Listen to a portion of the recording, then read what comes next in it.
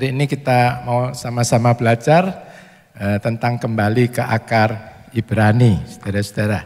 Kita akan bahas tiga topik yang tiga bab yang sederhana, yang praktis, saudara. Kembali ke akar Ibrani, apa sebetulnya kembali ke akar Ibrani? Jadi mungkin saudara-saudara dengan teman-teman dari gereja lain ditanya, untuk apa sih kembali? Untuk apa? Apa Kembali itu apa-apa lain dengan yang ada gereja-gereja standar atau gereja-gereja Konstantin lah saya katakan. Terus pertanyaan kedua, mengapa kok mesti kembali? Mengapa kok mesti kembali? Dan yang ketiga, how-nya. Bagaimana sih kembali ke akar Ibrani itu sebetulnya? Bagaimana kembali ke akar Ibrani itu? Nah sebelum kita mulai menjawab tiga hal yang akan kita uh, pelajari pada pagi hari ini, saudara-saudara. Saya ada beberapa pertanyaan penghangat, saudara. Jadi ini juga bisa saudara tanyakan ke teman-teman yang mungkin uh, masih berorientasi akar Yunani. Kita tanyakan yang pertama, Tuhan kita dari bangsa apa? Bangsa apa, saudara? Bangsa Yahudi, pasti semua sudah tahu bangsa Yahudi. Nah kalau bangsa Yahudi kadang-kadang loh kok kita kadang-kadang alergi terhadap Yahudi, kan begitu saudara. Yang kedua pertanyaannya, agama yang Tuhan ikuti itu agama apa? Nah ini lebih terarah lagi. Agamanya Tuhan Yesua waktu di muka bumi itu Tuhan beragama apa? Waktu itu belum ada Kristen loh saudara. Belum ada Katolik, belum ada Protestan, Buddha, Islam apalagi belum Islam apalagi belum lahir saudara-saudara. Kalau Buddha sudah min, min 500 ya sebelumnya. Jadi apa yang agama yang Tuhan ikuti? Jawabnya Yudaisme, saudara-saudara. Jawabnya Yudaisme. Dan kalau kita pelajari sesungguhnya Yudaisme waktu itu itu bukan suatu agama tertentu, tapi suatu way of life. Jadi kalau orang Yahudi ya pasti way of life-nya dia sunat, tidak makan babi, dia uh, sabat tidak bekerja, beribadah kepada Tuhan, ada tiga hari raya dan seterusnya. Saudara-saudara, jadi itu way of life, cara hidup ya sudah seperti itu, saudara-saudara. Walaupun eh, banyak kelompok-kelompok dalam Yudaisme, tapi tetap ya praktek hidupnya seperti itu. Jadi agama yang Tuhan Yesus ikuti Yudaisme. Ya kita tanya lagi loh, kenapa kok alergi terhadap Yudaisme? Kalau Yudaisme kan kita tahu dasarnya adalah Torah atau yang disebut oleh orang Kristen perjanjian lama, saudara. Kenapa kok kita alergi? Uh, sebelum diteruskan, saya ingin memberikan tambahan, saudara. Yudaisme ada dua golongan, gitu aja. Atau dua macam, gitu saudara. Yang benar, yang pertama yang diikuti Tuhan Yesus yaitu Yudaisme biblical, biblical Judaism. Jadi artinya Yudaisme Alkitab. Jadi itu semua cara hidup yang diikuti oleh Musa, Daud, Eh, Salomo yang maksudnya cara hidup yang benernya ya saudara, bukan pelanggaran-pelanggarannya. Kalau pelanggaran ya ditulis seperti uh, Salomo sampai nyembah berhala yaitu melanggar saudara-saudara. Uh, jadi semua yang diikuti oleh Tuhan Yesus, Tuhan Yesus mengikuti dengan sempurna, yaitu Yudaisme yang diajarkan Alkitab, biblical Yudaisme. Tapi sekarang saudara, ada yang kita sebut rabbinical Yudaisme. Jadi itu apa? agama Yudaisme yang diikuti oleh sebagian besar bangsa Israel saat ini yang belum terima Yesus sebagai Mesias. Nah ini yang kita tolak, bukan kita bukan mengikuti yang ini.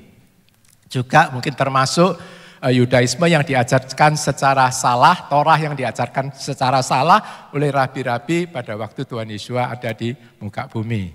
Itu Yudaisme rabinikal. Ini yang kita tolak. Tapi Yudaisme Alkitab Ya agamanya Tuhan masa kita tolak, saudara-saudara. Kemudian yang ketiga yang sering kita pelajari, Tuhan memeteraikan perjanjian baru dengan darahnya. Kita tahu dengan siapa perjanjian ini diadakan. Itu dipancing gitu aja. Kalau bilang orang Kristen, ayatnya mana? Kita tahu dari Ibrani pasal 8, perjanjian ini dengan bangsa Yahudi, bangsa Israel. Jadi tidak langsung dengan bangsa bangsa bukan bangsa Yahudi. Terus apakah isi perjanjian itu? Nah kita akan mau e, merayakan Safuot, saudara, Pentakosta, turunnya roh kudus, di Ibrani dikatakan roh kudus itu dicurahkan, eh, perjanjian itu yaitu isinya menuliskan Torah di dalam hati kita. Jadi isi perjanjian biasanya orang Kristen yang Konstantin menganggap Torah itu untuk perjanjian lama saja. Kalau perjanjian baru itu kasih karunia, itu tidak betul saudara-saudara. Baik perjanjian lama, perjanjian baru, itu semua isinya adalah Torah. Perjanjian lama ditulis di batu-batu di perkamen, perjanjian baru, roh kudus datang ditulis di hati kita. Jadi isinya tetap Torah, saudara. Jadi Torah itu kekal, Torah itu mulia, Torah itu kudus, Torah itu e, memberkati. Jadi kita sudah sering belajar tentang itu secara menda, agak mendalam, saudara. Jadi kita garis besarnya itu aja. Jadi, nah sekarang kalau semua dengan bangsa pilihan, kita yang bukan dengan bangsa pilihan. Nah kalau mau menolak, Terus perjanjian apa kan begitu saudara-saudara. Nah sekarang mari kita masuk ke materinya. Apakah arti kembali ke akar Ibrani? Jadi kalau saudara ditanya sebetulnya apa sih gerejamu itu mengikuti kembali ke akar itu apa sih kamu ikuti kan begitu saudara. Orang kan selalu tanya gitu ya kita jawab aja yang singkat. Kita bukan e, mengikuti suatu ajaran baru saudara-saudara. Tapi kembali ke akar Ibrani itu artinya ini yaitu kita kembali ke Kristenan yang asli dan benar. Maksudnya asli dan benar itu apa? Ya yang diajarkan Tuhan Yesus dan ke-12 rasulnya. Itu aja saudara. Yang diajarkan Tuhan Yesus dan ke-12 rasulnya.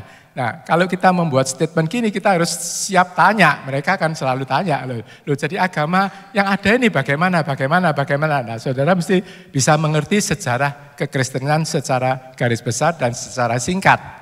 Supaya gampang ditangkap kan begitu saudara. Ya kita ngomong aja, bukan untuk debatan. Kita nyampaikan informasi. Kalau diterima syukur, kalau belum mau terima ya enggak apa-apa, didoakan mungkin belum waktunya saudara. Jadi kita bukan sekali lagi bukan mengajarkan sesuatu yang baru. Tetapi kita kembali kepada apa yang Tuhan Yesua dan ke-12 rasulnya itu ajarkan. Ya ini yang kita ikuti. Ya ini yang pasti yang paling benar kan saudara-saudara. Ini pasti yang benar, saudara. Nah kalau mau jujur aja menurut faktanya, loh jadi kalau misalkan uh, waktu waktu saya dulu mungkin beberapa 30 tahun yang lalu mengumpulkan guru waktu itu namanya Pak Andi Halim, insinyur baik orangnya saya tidak bilang baik, setia, rajin, sungguh-sungguh saudara. Tapi pada waktu kursus itu pembukaannya saya undang waktu itu di Sidoarjo, saya ini kan kepengen mendalami kekristenan. Jadi saya undang semua pendeta-pendeta baik GKI, baik Protestan, banyak yang datang setelah sampai 60-an di rumah itu penuh itu pertama. Terus Pak Andi Alim itu yang ngajar. Dia ngajarnya itu sistematik gitu loh, setelah ada bibliologi, eh, tentang doktrin tentang Tuhan, tentang Roh Kudus sendiri, jadi di, di ya sistematis istilahnya, secara secara eh, akademis bagus lah supaya kita lebih ngerti. Cuma pada waktu pertama saya ingat betul, waktu itu yang membuat saya ya agak agak kurang puas, agak kecewa gitu. Dia cuma ngomong gini, yang saya ajarkan ini, saudara-saudara, adalah ajaran Kelvin. Saya mulai tanya loh, yang saya ingin ikuti ini kan sebetulnya ajarannya Tuhan Yesus itu ya apa kan gitu sebetulnya. Tapi ya saya tidak berani tanya, kan saya menghormati saudara-saudara. Ajar, tapi saya ingat betul. Jadi yang saya ajarkan ini adalah ajaran menurut Calvin yang disebut Calvinisme, yaitu kemudian ada lima doktrin, lima apa segala macam saudara di. Ya bukan semua salah, ada yang bagus sekali. Khususnya yang saya terima berkat itu waktu beliau nerangkan tentang uh, pewahyuan tentang bibliologi, bagaimana sih kekristenan ini dibandingkan dengan agama-agama lain? Kalau agama lain mungkin ada yang apa dasarnya itu mungkin meditasi atau apa. Kalau ini enggak, Tuhan panggil satu orang, Tuhan nyatakan kebenaran-kebenaran dan itu ditulis, itu dikumpulkan. Nah itu bagus saudara-saudara. Jadi kita itu punya dasar, iman kita itu dasar sejarah itu bagus sekali. Nah, tapi ya cuma saya ingin sampaikan bahwa berarti oh yang diikuti itu ajaran Calvin, begitu saudara. Nah kita ini kembali ajaran Tuhan Yesus seperti yang ditulis firman Tuhan. Jadi artinya kembali ke akar Ibrani ini yaitu kembali ke ajaran kebenaran Alkitab yang sesungguhnya dan sepenuhnya. Sesungguhnya dan sepenuhnya. Nah nanti kalau mau diskusi itu panjang, saudara kan dia tanya. Jadi yang saya ikuti ini misalkan orang Katolik atau apa enggak, enggak sepenuhnya ya saudara bisa tunjukkan lah banyak ayat-ayat di mana mereka enggak mengenapi ayat-ayat itu saudara. Nah cirinya kembali ke akar Ibrani itu, cirinya itu ada unity saudara. Cirinya itu ada unity. Nah kalau kekristenan yang meninggalkan akar Ibrani, jadi biasanya kita sebut Kristen Konstantin, Cirinya itu selalu perpecahan atau perpisahan. Jadi contoh yang paling jelas, perjanjian lama dipisahkan dari perjanjian baru. Iman dipisahkan dengan perbuatan. Sehingga ada istilahnya imannya Paulus, perbuatannya Yakobus dan seterusnya. Saudara-saudara yang sebetulnya di Alkitab tidak ada. Nah kalau saudara kembali ke gerakan akar Ibrani, Alkitab salah satu Alkitab yang eh, yang yang bisa kita pakai untuk gerakan ini Complete Jewish Bible. Di situ tidak ada istilah Old Testament, New Testament tidak ada, saudara-saudara. Jadi sampai pasal terakhir perjanjian lama itu ke Matius itu langsung sambung, saudara. Langsung sambung. Jadi Alkitab itu ya satu itu semua. Tidak ada perjanjian lama, kemudian perjanjian baru itu menggantikan perjanjian lama, tidak, saudara-saudara. Jadi semua adalah eh, satu, ada kesatuan, kesatuan. Nah, nanti Saudara, eh, di dalam praktek hidupnya kalau eh, perpecahan kemudian me, apa, memisahkan antara iman sebagai aktivitas mental dan perbuatan ketaatan, Saudara, nanti akan sangat rugi. Kuasa, kasih karunia yang Tuhan berikan itu tidak bisa kita nikmati secara penuh Eh, sampai ke arah tubuh, sampai kesehatan, sampai ke keuangan, saudara-saudara. Nah, mari kita lihat ciri-cirinya kembali ke akar Ibrani. Jadi yang pertama ada tiga ciri, saudara. Adanya kesatuan. Contohnya apa aja? Maksudnya misalnya tanya, ya itu tadi kesatuan perjanjian lama dan perjanjian baru. Jadi itu semua adalah firman Tuhan, pewahyuan Tuhan yang berkesinambungan yang terus menerus. Jadi tidak saling bertentangan, saling menghapus gitu enggak saudara, tapi terus menerus yang mencapai puncaknya dalam Tuhan Yesua. Jadi eh, pewahyuan, kebenaran yang dibukakan oleh Tuhan itu dengan adanya eh, firman yang berkesinambungan tadi itu makin kuat, makin kuat, makin kuat, makin disempurnakan di dalam Tuhan Yesua. Seperti itu. Nah puncaknya tentu di kitab Wahyu terakhir, nanti kalau Tuhan Yesua datang memerintah dunia ini selama seribu tahun, kemudian kerajaan setan dihabiskan sama sekali dan kita kembali seperti sempurna seperti yang Tuhan ciptakan. Tapi itu kan mesti ada prosesnya. Nah kita mengikuti ini semua. Jadi sekali lagi kesatuan perjanjian lama dan baru. Jadi tidak dipisahkan. Jadi bukan baru itu menggantikan yang lama. Nah nanti saudara ada ayatnya di Ibrani itu menggantikan itu ya, kita mesti rodok ngerti sedikit.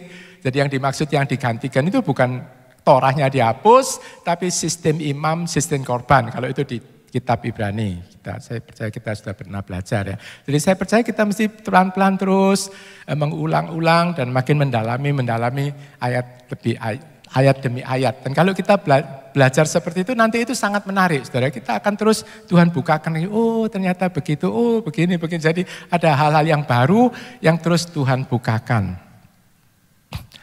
Yang kedua, kesatuan antara iman dan perbuatan. Jadi kita sudah belajar, iman itu bukan aktivitas mental. Kalau Alkitab mengatakan iman, yaitu artinya ketaatan kepada, atau ketaatan itu artinya perbuatan atas apa yang kita percayai. Itu yang iman menurut Alkitab yang dihitung benar oleh Tuhan. Juga kesatuan apa? Kesatuan antara Tuhan Yesua dan Torah. Jadi Tuhan Yesua adalah Torah yang menjadi manusia. Torah adalah firman Tuhan. Tidak dibeda-bedakan, dipisah-pisahkan. Yesua siapa? Torah yang menjadi manusia. Kalau eh, Yohanes nulis waktu itu firman jadi manusia, firman, firman kita sudah belajar, firman adalah Torah yang dimaksud. Waktu Paulus mengatakan Timotius engkau hikmat oleh kitab suci yang kau sudah diajar, kitab suci itu adalah Torah, saudara-saudara. Waktu itu belum ada Injil Matius dan seterusnya. Dan satu lagi yang saya terima waktu Pak Eliahu itu melayani, yaitu kesatuan roh, jiwa, dan tubuh, saudara. Jadi waktu itu saya catat betul, dia ngomong physical is spiritual, spiritual is physical. Nah, waktu dia ngomong itu itu bicara sama saya. Jadi memang ini sebetulnya yang sering-sering kemudian orang Kristen hilang, Saudara. Jadi physical is spiritual, spiritual is physical gitu loh, Saudara. Spiritual is physical, physical is spiritual. Jadi uh, di dalam kekristenan yang belum kembali ke akar, biasanya itu sangat dipisahkan, saudara. Jadi kadang-kadang kita nyanyi begitu aja, ya berdiri, kita jarang nyembah, kemudian mau berlutut, saudara. Kita juga sering istilahnya itu fisik dan kalau rohani itu sepertinya itu ke gereja sama nyanyi. Kalau di dunia pekerjaan itu sepertinya enggak rohani. Tidak demikian, saudara. Saya masih ingat betul waktu itu dia ngomong, e, jadi seorang katakanlah pedagang itu bukan kurang rohani dengan seorang rabai, dia bilang. Kalau di sini sekarang kan bukan rabe, jadi full timer, bukan berarti businessman, saudara-saudara yang bukan full timer itu kurang rohaninya daripada yang full timer, saudara-saudara. Masing-masing ada bagiannya sendiri. Bagaimana kita eh, hati kita terhadap Tuhan, bagaimana kita beribadah, bagaimana kita melakukan pekerjaan kita, itulah yang dinilai secara rohani atau bukan rohani, saudara-saudara. Jadi physical is spiritual, spiritual is physical. Dan ini nanti eh, apa? prakteknya atau tafsirnya bisa banyak, saudara-saudara. Jadi artinya kalau kita dan pasti saudara akan merasakan, eh, artinya kalau kita mengejar Tuhan sehingga memperoleh kasih karunia yang banyak di dalam hal-hal rohani, pengertian kebenaran, kita juga percaya nanti tubuh kita menjadi lebih sehat. Kita juga percaya nanti keuangan kita bisa menjadi lebih banyak. Dalam arti Tuhan memberkati dengan limpah. Karena apa ya? Contohnya gampang kan saudara, kalau anak masih kecil masa dikasih uang banyak sama orang tua. Kalau anak sudah dewasa, kita ada ya kita kasih kepercayaan kan seperti itu saudara-saudara. Bukan artinya ke gereja untuk cari apa uang atau cari apa atau kalau lebih banyak uang lebih rohani itu juga tidak benar saudara-saudara ajarannya. Tapi kita mesti percaya bahwa Tuhan itu memberkati termasuk keuangan. Itu aja saudara-saudara. Tuhan member, memberkati termasuk keuangan. Tapi kalau rohani kita, spiritual kita itu belum siap saudara-saudara. Kita akan diproses dulu, dituntun lebih dewasa, lebih dewasa, dikasih pengertian dulu. Kamu gunakan uang itu untuk apa, tujuan hidupmu apa, cari uang kan begitu saudara. Kalau kita sudah ngerti, kita mulai praktek, jadi sudah betul-betul beriman, praktek, nah nanti Tuhan tambahkan, Tuhan tambahkan, Tuhan tambahkan seperti itu. Tapi ya mudah-mudahan jangan ada yang sombong, kemudian uh, dihukum oleh Tuhan. Nah mau seperti itu kan saudara-saudara. Jadi spiritual is physical, physical is spiritual. Itu kesatuan roh, jiwa, dan tubuh. Saya percaya kalau kita mengikuti ini, gereja Tuhan akan kuat saudara-saudara, termasuk di dalam keuangan saudara termasuk di dalam keuangan. Kadang-kadang kita terima visi yang besar, tapi kalau keuangan jemaat belum siap, saudara-saudara, visi itu bisa bisa tersendat-sendat lah istilahnya. Saya percaya semua kalau Tuhan mau pasti akan dikenapi, saudara. Saya percaya.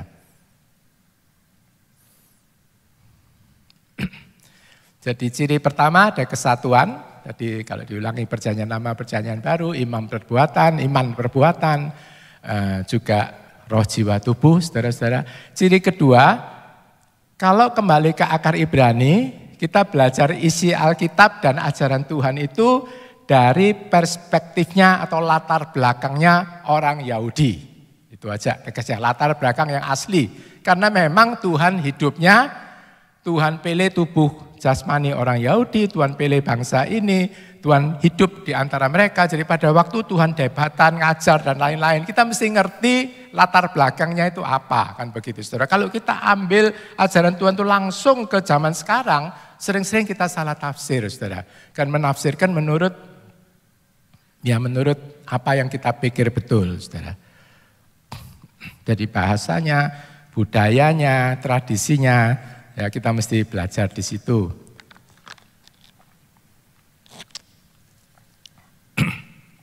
Saya percaya kita ngundang Pak Eliahu, Kemudian Pak Ivan belajar lebih mendalam, sebetulnya ya ini sebaik dan kita saya percaya kita semua mendapat banyak berkat dari situ. Jadi tidak sampai keliru-keliru lah seperti itu, saudara. Kemudian ciri ketiga memposisikan Israel seperti yang dikatakan Alkitab. Ya ini aja kira-kira. Mungkin saudara nanti bisa nambah ciri yang lain kalau belajar. Tapi saya saya garis besarnya tiga ini. Jadi yang pertama ada kesatuan, Perjanjian lama, perjanjian baru, Tuhan Yesus dan Torah, iman perbuatan, kesatuan fisik, roh jiwa tubuh kita, utuh saudara-saudara. Yang kedua, belajar dari akar, dari latar belakang orang Yahudi. Dan yang ketiga, memposisikan Israel seperti yang dikatakan Alkitab. Jadi ini aja cirinya. Nah kalau ditanya dasar firmannya apa? Mari kita baca sama-sama aja. Ini sering kita sudah belajar, saudara. Yohanes 4, 20, 22b, 1, 2, 3. Karena keselamatan itu berasal dari orang-orang Yahudi. Karena keselamatan itu berasal dari orang-orang Yahudi. Jadi saya garis besari orang-orang, karena biasanya kalau Kristen Konstantin, oh dari orang Yahudi ya, Tuhan Yesus orang Yahudi. Tapi kalau orang-orang, saudara, Berarti bukan cuma Tuhan Yesus saja. Tuhan Yesus pasti yang paling penting yang uh, yang menjadi hidupnya begitu Saudara, tapi ada tugas-tugas lain dari orang-orang Yahudi ini. Nah, apakah tugas itu? Mari kita baca Roma 3 ayat 1a 2. Mari kita sama-sama 2 3. Apakah kelebihan orang Yahudi banyak dalam segala hal? Karena pertama-tama sesungguhnya bahwa mereka telah dipercayakan firman Elohim. Bahwa mereka telah dipercayakan firman Elohim.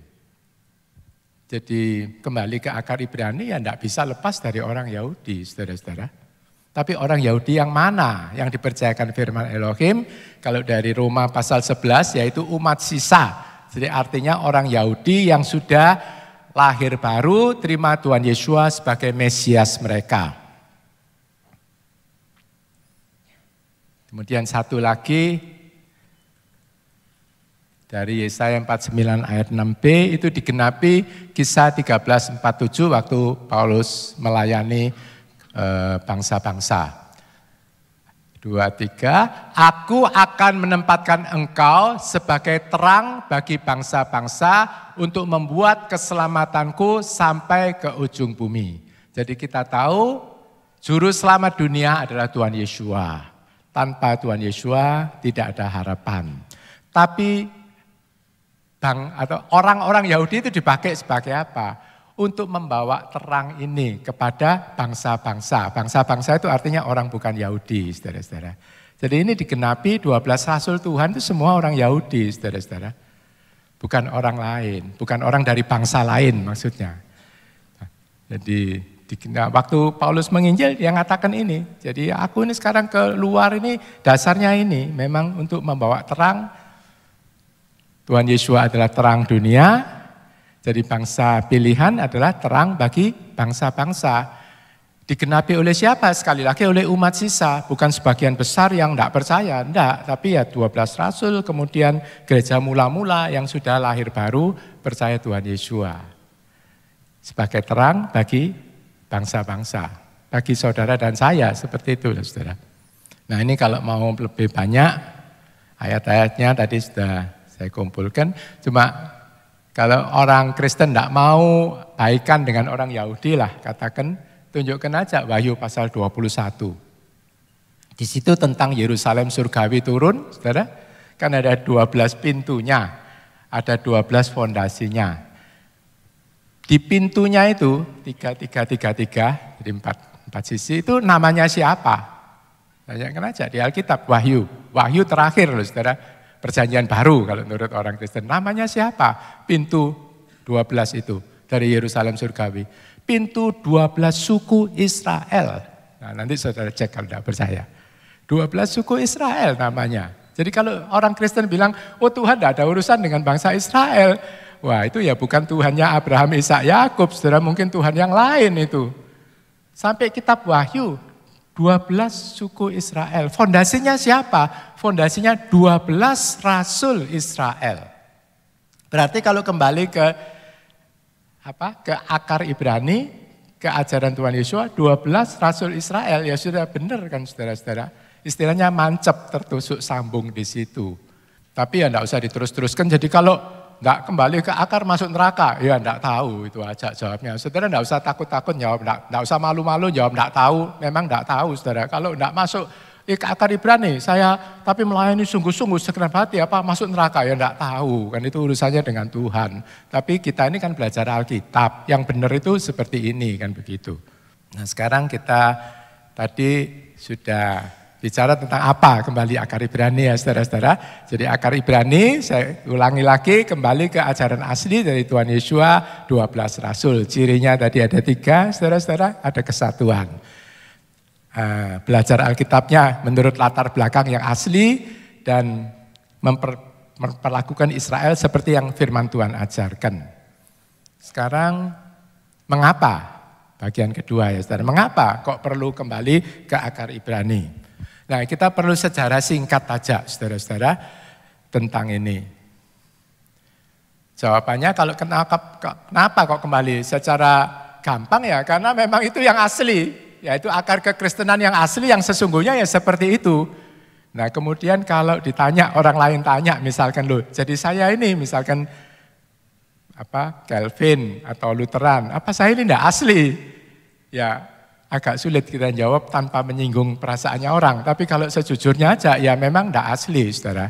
Karena yang ngajarkan Calvin saudara, yang ngajarkan Martin Luther. Bukan berarti semua salah, enggak. Dia belajar dari Alkitab juga. Tapi ada ada kesalahan-kesalahan yang sangat serius yang Bapak Gereja itu lakukan. Yaitu sikapnya terhadap orang Yahudi, saudara-saudara. Dia betul-betul sangat bertentangan dengan Alkitab, itu yang mereka katakan. Nah ini kita perlu tahu. Jadi kembali ke akar Ibrani, kenapa? Karena itu yang asli, yang sesungguhnya. Nah ini saudara-saudara, mungkin saudara agak, agak kecil, bisa lihat enggak? Tapi secara garis besar aja ya agamanya Tuhan Yesus kan Yudaisme, eh, rasul-rasul juga Yudaisme. Waktu itu sebelum ada Kristen, Katolik, macam-macam saudara, Yudaisme itu pun ada banyak kelompoknya. Kita tahu di Alkitab ada orang Farisi, ada orang Saduki, ada orang Eseni, ada sebelah utara, suku ada Samaritan. Nah kalau kita ke Israel juga mengunjungi ini orang Samaritan ini punya Alkitab sendiri, Torah sendiri, saudara-saudara. Bukan berlawanan sama sekali enggak, tapi ada ada bedanya lah begitu. Jadi ada kelompok-kelompok ya semua ini nama Yudaisme dan murid-murid Tuhan Yesus dan murid rasul-rasul yang menerima Yesus sebagai Mesias itu juga bagian dari Yudaisme disebut mesianik waktu itu saudara atau lebih terkenal bagi kita disebut Kristen. Jadi saya cuma ingin nerangkan bahwa Kristen itu sebetulnya bagian dari Yudaisme kan begitu saudara.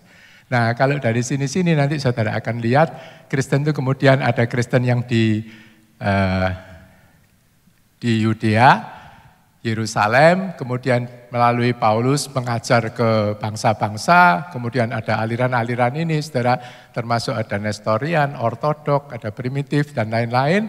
Nah dari sini ternyata kemudian lahir Islam. Islam kan lahir tahun 600, saudara-saudara. Ini ortodok, macam-macam. Ini termasuk Kristen juga, saudara. Jadi Katolik, ortodok timur. Nah ortodok timur ini, nah kita ini penginjilannya itu dari barat, saudara-saudara. Kalau ortodok timur ini, eh, Islam ini mirip ortodok timur gitu, bukan ortodok timur mirip Islam ya. Islam mirip mirip ortodok, saudara. Jadi ibadahnya itu ada, kalau ortodok Sira sampai tujuh kali. Kalau yang ortodok lain tiga kali, saudara, pagi, siang, sore. Jadi so, so, apa kalau orang Islam kan ngomong salat ya, saudara mereka sholat lima kali. Jadi itu sebetulnya Kristen tiga kali atau tujuh kali itu sudah ada, saudara. Menghadapnya juga eh, apa seruan-seruannya, juga sikap doanya, berdiri, berlutut, apa semua itu ada aturan-aturannya, saudara-saudara. Nah, ini semua biasanya ditinggalkan oleh kekristenan Barat. Dianggap pokoknya percaya, itu mental. Nah kalau kekristenan timur, Alkitab, kalau kita menyembah Tuhan berlutut tanpa berkata-kata tidak apa-apa. Berlutut itu sudah nyatakan tubuh kita, roh kita, jiwa kita berlutut tunduk pada Tuhan, menyembah Tuhan. Yaitu dengan sikap berlutut kan begitu. Nah kekristenan barat biasanya e, mau yaitu tadi mental aja pokoknya percaya. Jadi sikap tidak penting kan begitu saudara. Padahal itu penting saudara. Sikap itu penting. Nah saya kan baru dari Rusia. Di Rusia itu dulu tak kira Rusia itu orangnya komunis saya kenalnya. Waktu di guide-nya saya tanya loh agama di sini nih orangnya agama apa? Dia bilang oh agamanya Kristen Ortodok 80 persen katanya. 80 persen Kristen Ortodok saudara-saudara. Ya, mungkin kalau bagi kita agak asing bagi Kristen Ortodok itu. Jadi ortodok macam-macam, saudara. Ada ortodok Syria, ada ortodok Yunani, ada ortodok Rusia, gitu, saudara-saudara. Ortodok Armenian, begitu, saudara. Nah ini contoh salah satu gereja namanya Gereja Isak, saudara. Saint Isak Katedral. Jadi sekarang sudah tidak dipakai sebagai ibadah, tapi cuma dipakai sebagai museum. Saint Isak Katedral. Oh ini ibunya. Nah ini dalamnya seperti ini saudara. Jadi dalamnya itu waduh mewah dan megah dan kaya gitu. Macam-macam saudara. Atasnya itu lukisan-lukisan. Itu puluhan tahun bikin gereja. Malah yang di Spanyol itu sampai ratusan tahun saudara bikinnya gereja itu. Diukir, dipatung segala macam saudara. Eh, kacanya itu kalau yang di Spanyol itu saya sampai lupa berapa ribu euro gitu harganya kacanya itu pokok sampai ratusan juta lah satu kaca jendela itu saudara.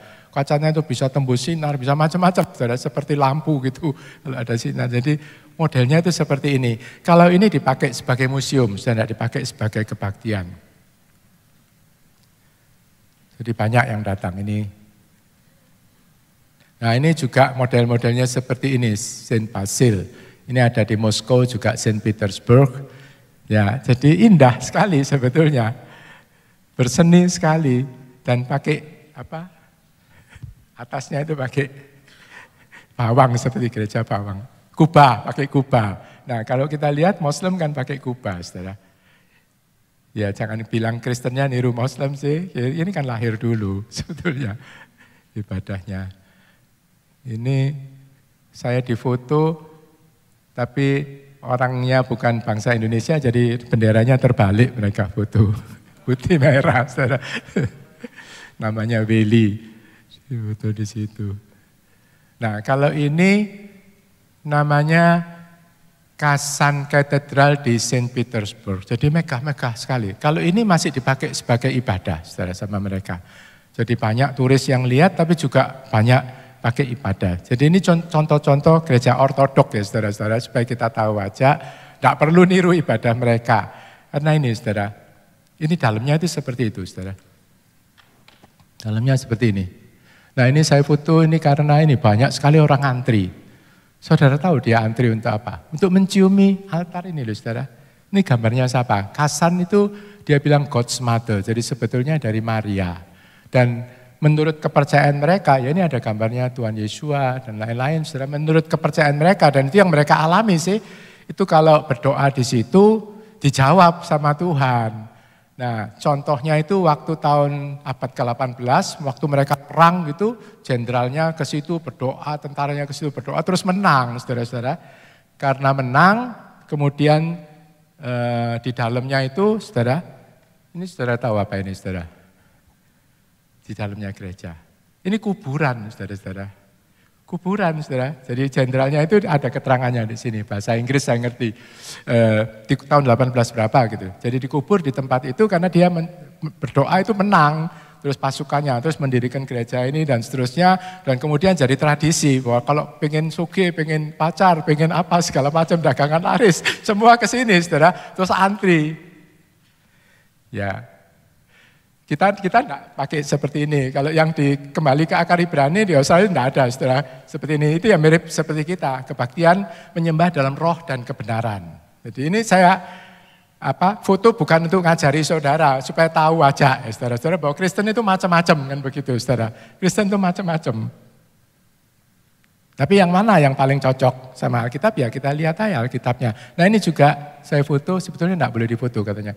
Ini mereka ini ada kayak kotak-kotak gitu ada fotonya siapa. Ini mereka gantian nyium ini saudara.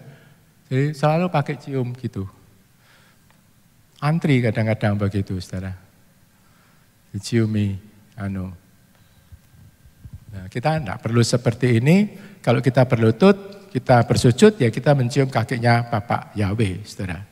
Ya itu tidak perlu pakai ini. Ini kan gambarnya orang. Sebetulnya kalau yang anu semacam berhala ya saudara, kan berhala. Jadi seperti Maria pun dianggap sebagai ibunya Elohim. Itu tidak benar ajaran seperti itu saudara-saudara. Cuma ya kita tidak usah anti Maria ya saudara. Karena Miriam itu betul-betul ibunya Tuhan Yesus secara daging kan. Jadi kita jangan anti. Kita tempatkan seperti yang firman Tuhan katakan aja. Jadi saya percaya Maria adalah pilihan Tuhan dari sekian banyak perempuan. Berarti ada kelebihannya pasti dipakai rahimnya oleh Tuhan Yesus. Kalau saya bandingkan Musa dikasih Torah, Maria dikasih Tuhan Yesus, mungkin ya mungkin ini kalau saya tafsir ya paling kedudukannya itu seperti orang kudus yang disempurnakan seperti Musa. Tidak perlu kita sebah, saudara-saudara. Mereka ada tugasnya sendiri-sendiri. Jadi kalau menurut hmm, beberapa ajaran, orang-orang kudus yang disempurnakan ini ada tugasnya sendiri seperti Elia dan lain-lain. Elia, Musa, waktu Tuhan mau disalib kan Elia datang, Musa datang. Lah Tuhan aja perlu pelayanannya Elia dan Musa, masuk kita tidak perlu, kan begitu saudara.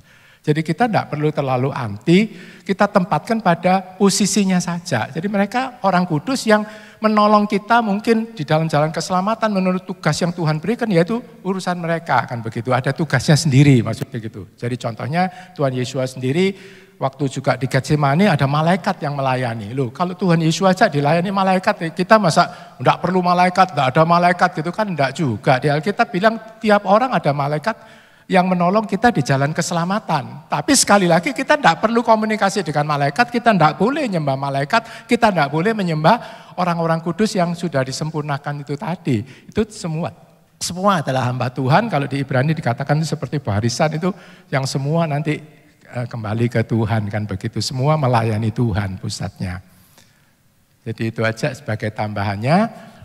Jadi sekali lagi saya tayangkan bukan untuk ditiru ya saudara-saudara. Supaya tahu aja bahwa kekristenan itu macam-macam. Tapi kita bersyukur kembali ke akar Ibrani itu kembali ke yang akar. Nah ini yang lebih vulgar saudara. Ini gambarannya apa kalau ini? Semua tahu ini peti mati ini saudara. Cuma pertanyaannya di mana peti mati ini? Apa saya ke kamar mayat? Enggak, saudara. Ini di gereja, saudara. Wah, gereja yang namanya Saint Peter sama Paul ini, itu peti matinya itu banyak, saudara. Puluhan, saudara. Dan itu peti matinya raja-raja, eh, pangeran-pangeran, istrinya raja. Kemudian ada satu ruangan khusus yang keluarganya raja terakhir. Jadi secara singkat dulu Rusia itu monarki, raja demi raja, saudara. Wah, waktu raja itu memerintah, kalau dia besar, dia bikin gereja-gereja besar-besar. Saudara-saudara juga bikin istana yang megah-megah dengan tamannya yang sangat luas dan sangat mewah. Sekarang jadi museum, jadi, jadi kunjungannya turis, saudara-saudara. Nah, di dalam gereja itu, e, kalau raja mati, peti matinya itu ditaruh di situ, saudara. Jadi ini kenapa saya foto, saya cuma ingin menggambarkan bahwa di dalam perjalanan kekristenan, saudara, eh, pemerintahan atau raja itu dengan agama itu dekat sekali gitu loh saudara-saudara. Agama kalau di gereja Katolik itu santo-santonya itu ada mayatnya di situ. Kadang ada tangannya apa yang dikeringkan segala macam lah, saudara. Kalau tidak salah ada tradisi juga apa jantungnya Santo Sapa itu dibawa keliling. Itu saya pernah terima di WA itu dibawa keliling. Ini apa nama istilah ada khusus itu istilahnya. Pokok di Turki mereka jadi dibawa keliling jantungnya ini nanti di, entah dicium entah bagaimana tradisinya itu supaya jadi kudus gitu kira-kira. Kalau kita tidak perlu seperti itu ya sekali lagi. Saya cuma nerangkan ini untuk kita tahu ada macam-macam lah di dalam kekristenan itu. Nah sekali lagi peti-peti ini di dalam gereja saudara-saudara. Jadi gereja itu ada yang tidak ada petinya, yang tadi itu cuma satu, yang ini banyak sekali petinya. Kaisar-kaisar permaisuri dan juga raja terakhir Nikolas. Jadi dulu itu raja, kerajaan mewah sekali, tapi kemudian tahun 1917 singkatnya itu terjadi revolusi, eh, semua raja-raja itu digantikan oleh republik ya, republik. Jadi waktu revolusi itu raja terakhir yang saya tahu namanya Nikolas II itu eh, ditembak mati semua, sekeluarganya termasuk anaknya Anaknya lima kalau tidak salah waktu itu. E, juga koki-kokinya ditembak mati, petinya ada di satu ruangan di situ, saudara-saudara. Di dalam gereja.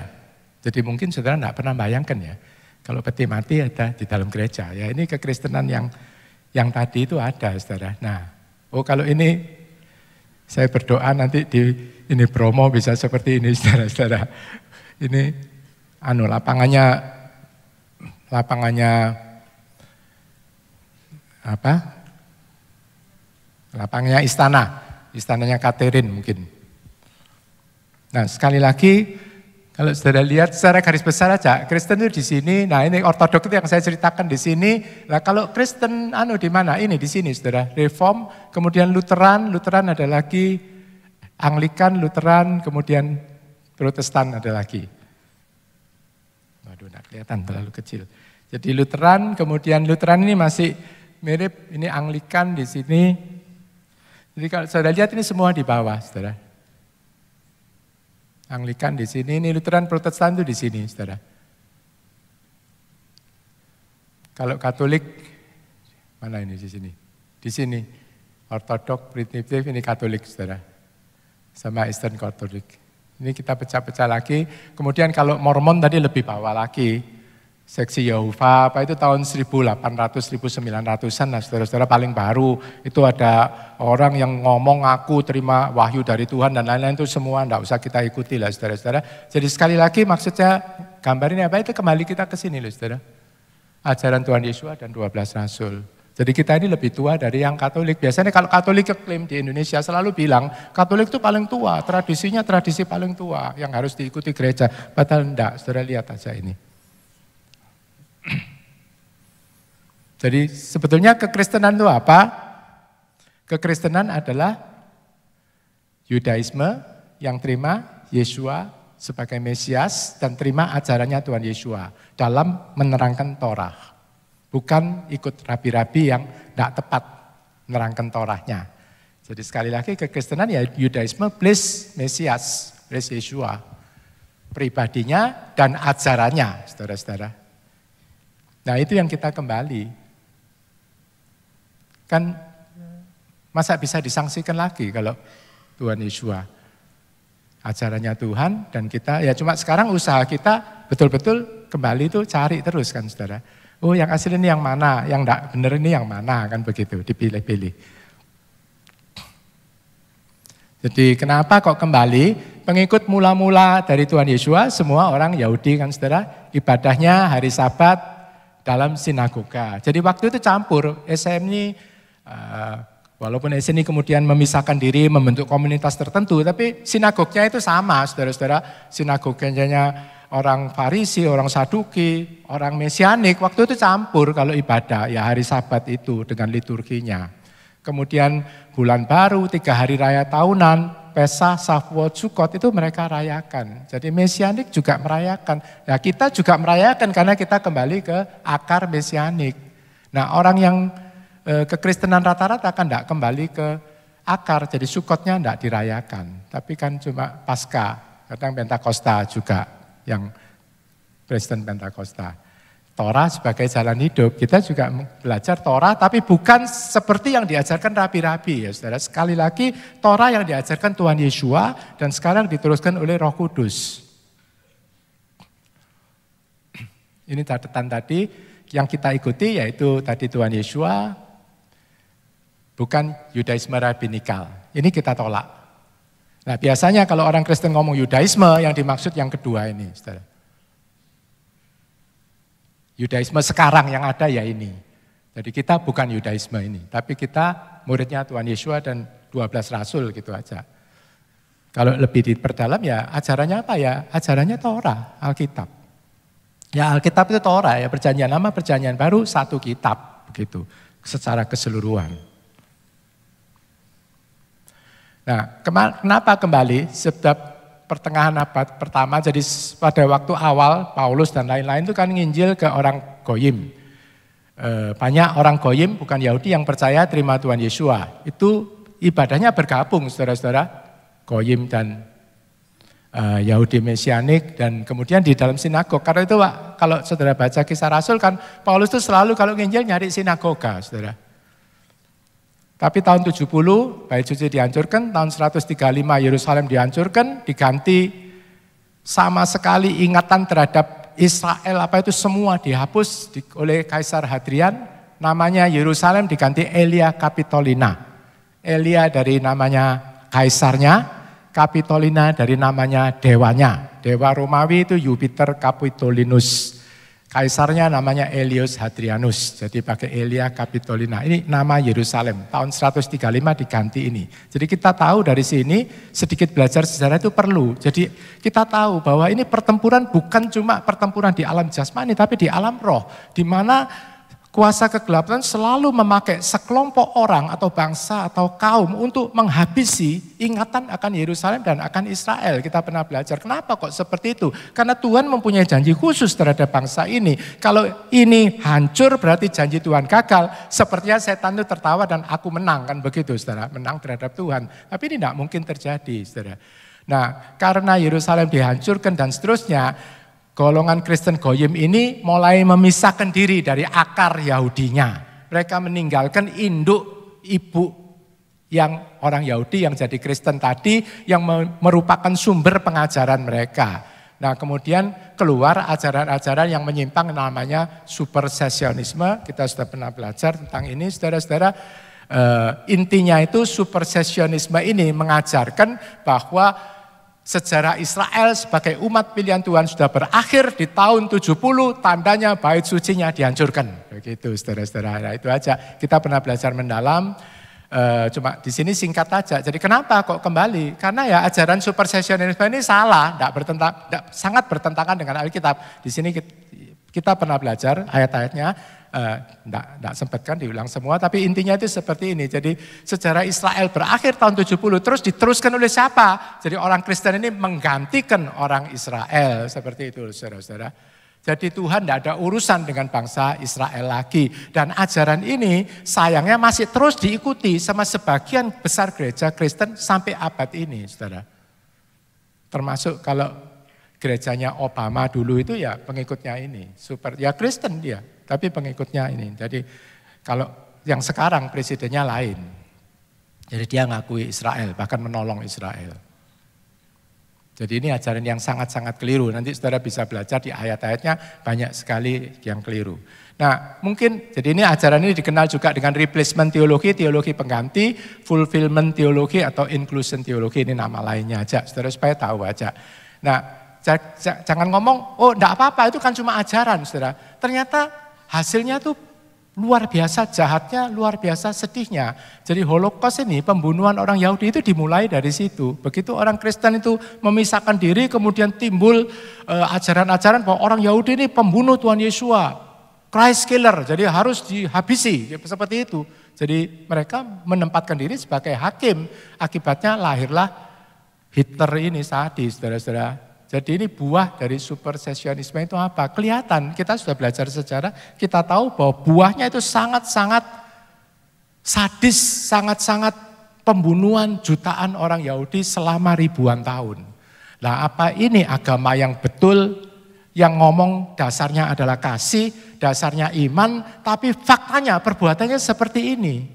Dan yang jadi saya ingatkan lagi yang membunuh orang Yahudi itu Hitler itu bukan orang ateis, bukan orang Muslim, saudara-saudara, itu orang Kristen, saudara.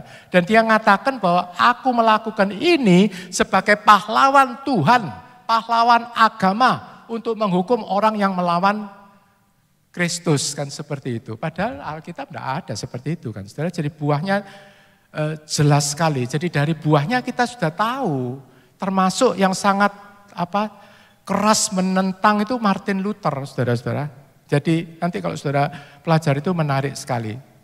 Yang dilakukan Hitler itu pas pada hari lahirnya Martin Luther. Waktu mulai pembunuhan dan lain-lain. Tidak ada yang kebetulan saudara kalau kita belajar. Ini 6 juta di pantai, dari seluruh penduduk Surabaya Sidoarjo itu dihabisi kira-kira begitu saudara. 6 juta itu gambarannya, cak sama Gresik ini. Setaranya. Ini macam-macamnya saudara, saya enggak terus jadi itu diseleksi, yang kuat-kuat disuruh kerja paksa, yang lemah langsung dimasukkan gas, saudara. Ya, tidak senang sebetulnya ini, tapi ya ini sejarahnya seperti itu. Yang sebelah kiri langsung dibunuh. Dibunuhnya pertama dulu kan ditembak bunuh itu. Tapi lama-lama peluru itu terlalu mahal untuk jiwanya orang. Jadi akhirnya dimasukkan di ruangan ini eh, pakai tablet racun, saudara. Racunnya di manu, dia menguap, langsung orang itu lengket semua. Napas apa enggak bisa lengket semua mati. Begitu mati atau setengah mati, belum mati itu ada yang anu dimasukkan gerobak, ditumpuk seperti sarden, dibawa, dibakar, dikremasi, saudara. Nah, pada waktu dibakar itu ada yang masih hidup, saudara. Yang masih hidup itu kadang ada yang lari, yang memberi kesaksian. Ya, luar biasa Tuhan masih bisa pelihara. Jadi di Holocaust tidak semua mati, ada yang banyak hidup. Kadang di waktu di keretanya itu mereka mau dibawa kremasi itu ada yang lompat dan lain-lain. Ya ini bukan gemuk sehat ini anak itu itu perutnya udim, isi air karena kurang makan, saudara. Seperti itu, itu seperti ayam aja baraknya itu seperti itu, saudara.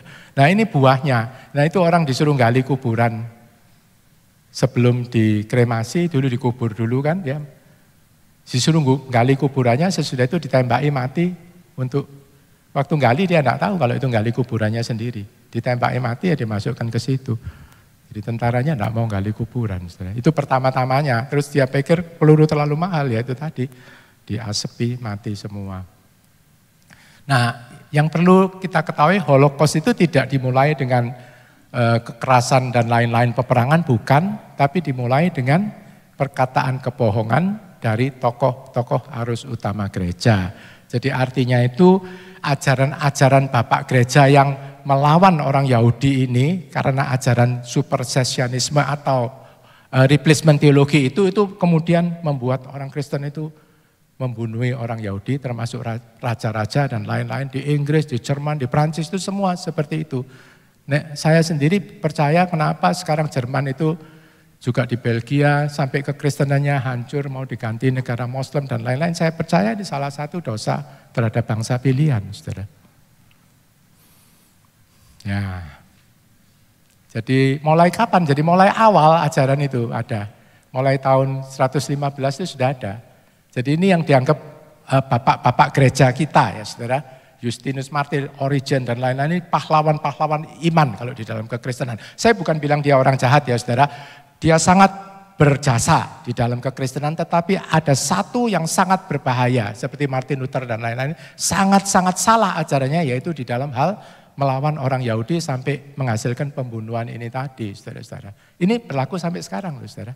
Jadi orang Kristen yang tidak mau, kan ada teman-teman itu tidak mau acuh untuk apa, Yahudi pokok percaya Yesus saja. Ya begitu. Ya ini kalau netral tidak apa-apa, tapi ada yang anti ada. Sekarang di Australia itu kan negara Kristen. Itu ada gerakan anti boykot Yahudi dan macam-macam, saudara.